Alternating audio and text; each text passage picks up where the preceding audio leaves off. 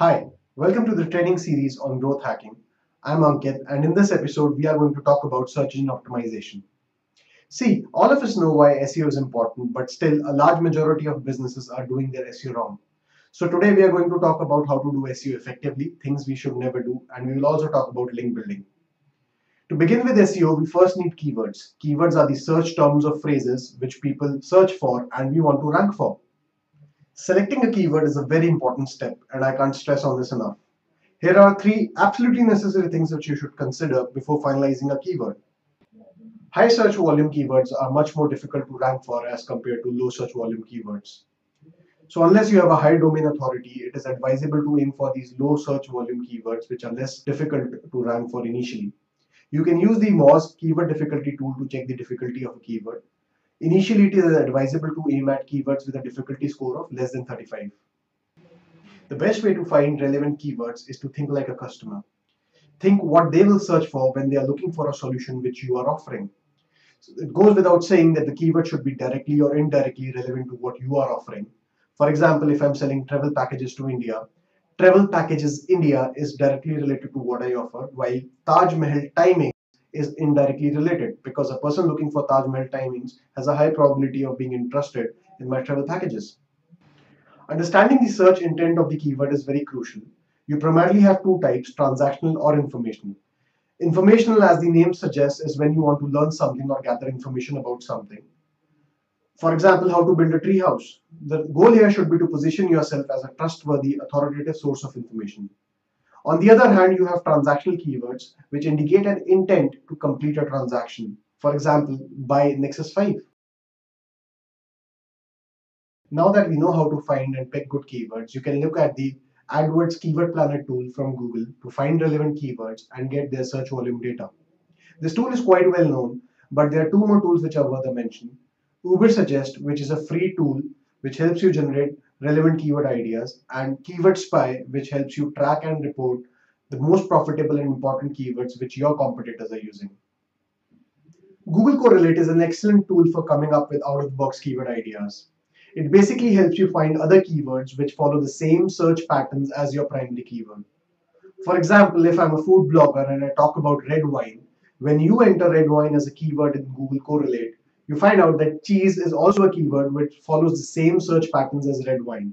So basically, I can use this tool to find other topics on which I can create blog posts and cater to the same audience. Now, this is one problem which I really like to see as it happens when you actually start ranking for your desired keywords. See, a lot of people do not receive actual conversions from the traffic which they receive from certain keywords. But the problem is that they've put in all the time and effort to actually make their content rank for it already. So before shortlisting down and finalizing on your keyword list, it is a wise decision to probably run a small PPC campaign for a short amount of time on a small budget to see how your keyword list actually performs. Once you've already started receiving some search traffic, the best thing to do is find those keywords which are driving maximum conversions on your website and then find other related terms and keywords which are similar to the keywords which are driving conversions on your website. So for example, if invitation cards as a keyword is working for me, I could also look at other related terms which could be greeting cards or hallmark cards and then aim at ranking my website for these keywords as well. Now that we have zeroed down on a list of keywords, the next step would be to optimize your website so that it ranks better.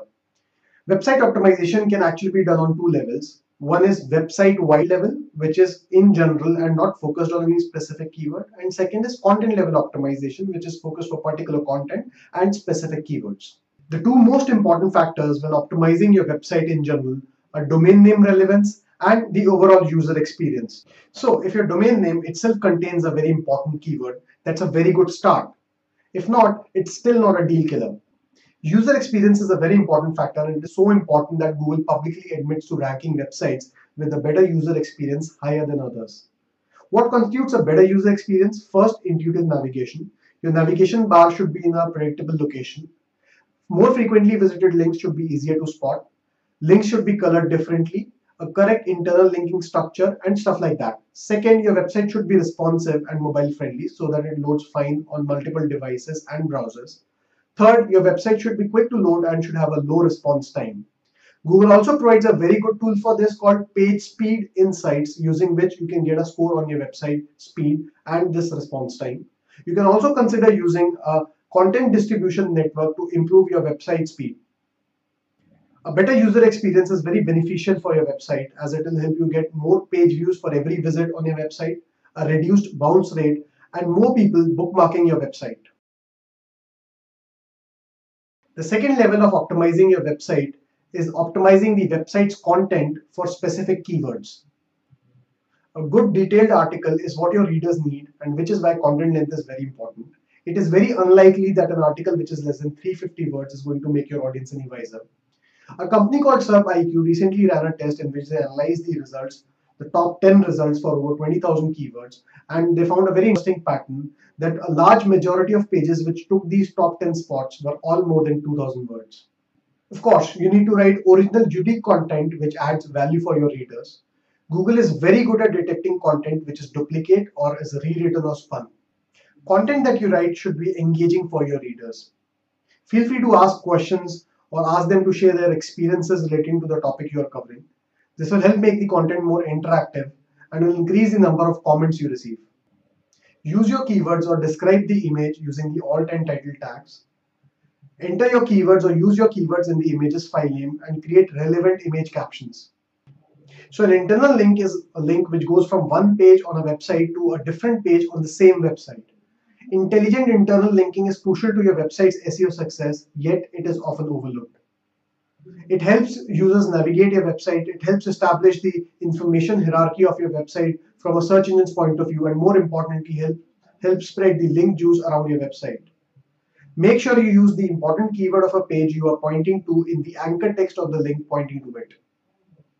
The title tag is important in defining what the page is about, and Google takes this seriously. So make sure you use your important keywords in the title tag of the page. Headings are your H1 to H6 tags.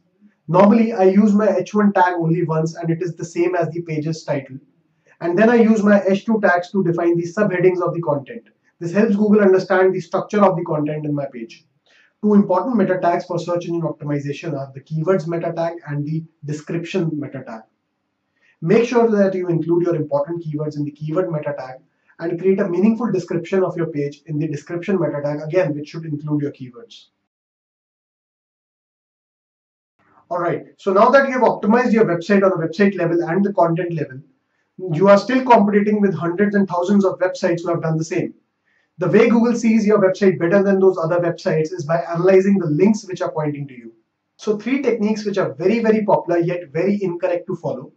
First, bulk submissions. You definitely don't need those thousands of directory submissions, article submissions, or comment submissions.